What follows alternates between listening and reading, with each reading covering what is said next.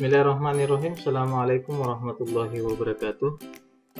Pada video kali ini kami akan menjelaskan cara mengkoneksikan MySQL dengan bahasa pemrograman .NET baik itu Secrets, Visual Basic dan lain sebagainya.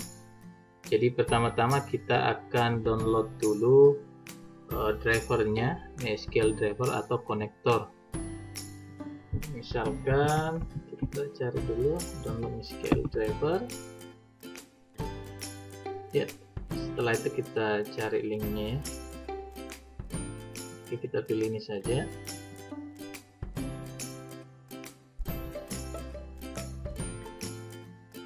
Ya selanjutnya uh, kita bisa mencari uh, driver MySQL driver dengan versi tertentu ya yang sesuai.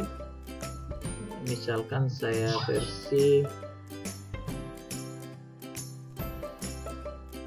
ya ini saja ya 654 ya ini saja. Setelah itu kita klik download. Kita save file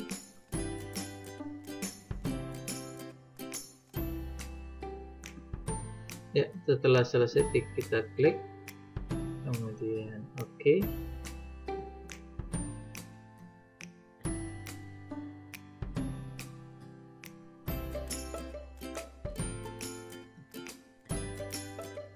klik. Install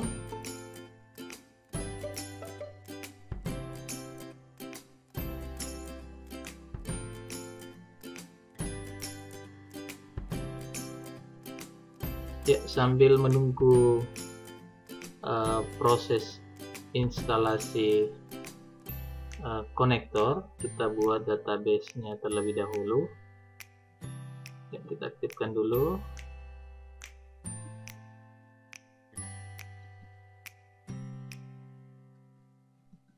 Setelah itu kita buka di localhost untuk masuk di php admin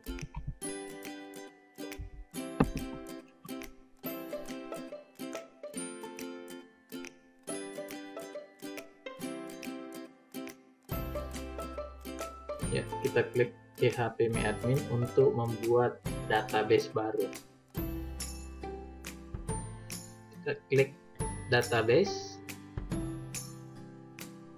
Kemudian kita uh, buat databasenya dengan nama misalkan db sekolah. Db sekolah ya database sekolah kemudian kita klik create. Ya jadi kita sudah membuat databasenya yaitu db sekolah. Kita lihat ya setelah selesai kita finish. Selanjutnya kita akan membuat project baru di Visual Studio. New project. Kemudian nah, di sini kita bisa misalkan saya lokasi filenya ini saja. Kemudian select. Kemudian misalnya nama filenya adalah koneksi. Kemudian oke. Okay.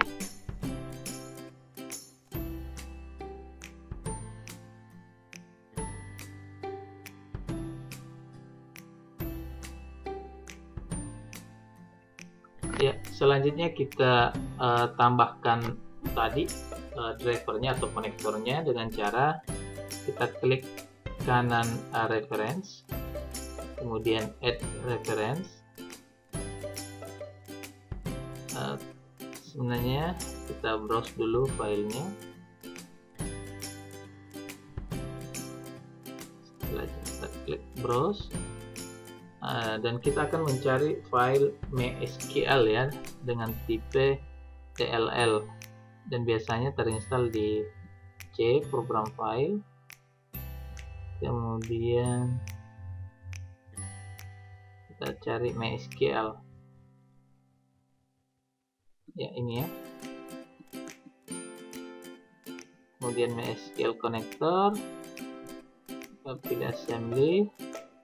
Dan ini sebenarnya yang kita butuhkan uh, cuma ini ya tapi uh, jangan sampai kita akan membutuhkan maka kita bisa pilih tiga-tiganya kemudian kita centang setelah itu kita oke okay. ya uh, di sini sudah muncul referensinya yaitu MySQL data uh, selanjutnya kita uh, tambahkan dulu pemanggilan library-nya. Dengan cara klik dot kali saja. Kemudian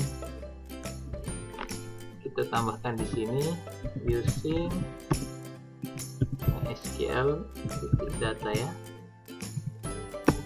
Kemudian using SQL data. MySQL client ya Oke, setelah itu kita tambahkan satu button saja. Misalkan uh, di sini namanya adalah koneksi ya. Kemudian btn koneksi. Ya. Setelah itu kita klik dua kali untuk listingnya itu kita sudah buat. Misalkan ini kita copy saja untuk file atau coding koneksinya. Ya jadi untuk pertama adalah uh, hostnya ya.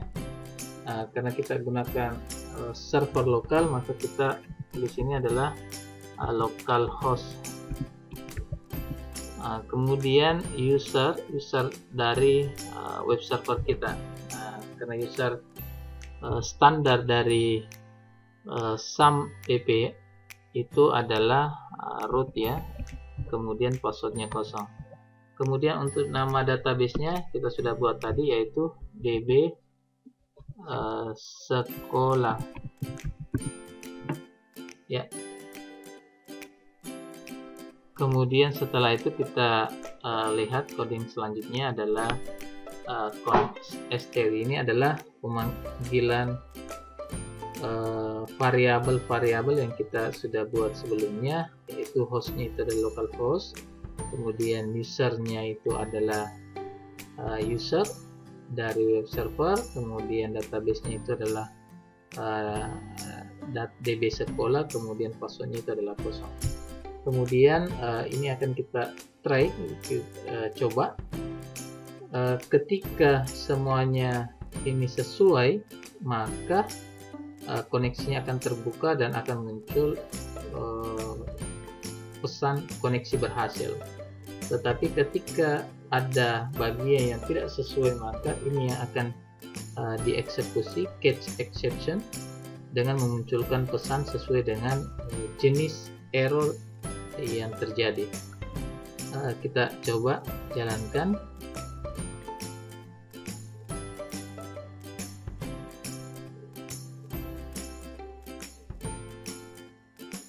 Ya kemudian kita coba klik koneksi.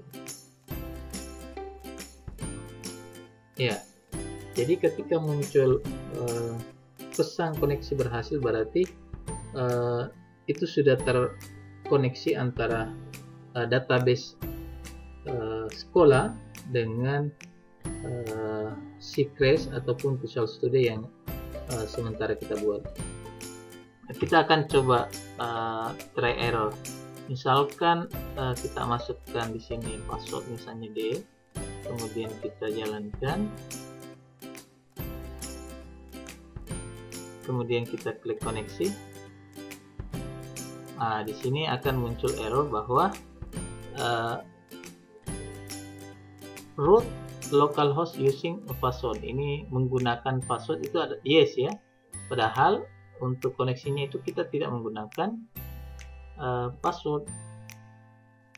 Ataupun untuk web server yang kita uh, buat ini itu tidak menggunakan password. Jadi kosong ya. Begitupun misalnya dengan kita tambahkan uh, db sekolah itu satu kemudian kita klik koneksi.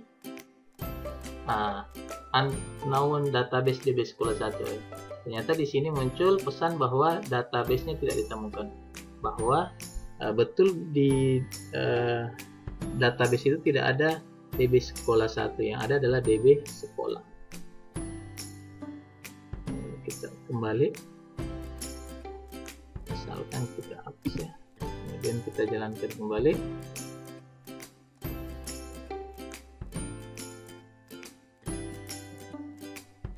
ya berhasil ya. Ya jadi uh, seperti itu ya proses mengkoneksikan antara MySQL dengan Secret silakan dipraktikkan masing-masing di komputer kalian masing-masing. Uh, semoga bermanfaat untuk kalian dan kita semua. Assalamualaikum warahmatullahi wabarakatuh